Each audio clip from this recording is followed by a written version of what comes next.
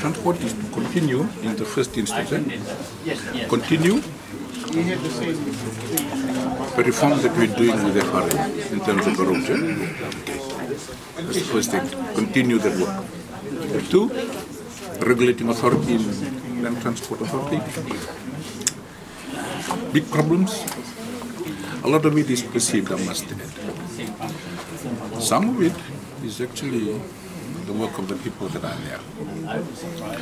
And there's allegations coming in every day.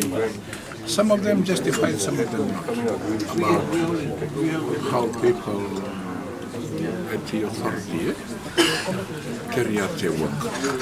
Allegations. Now,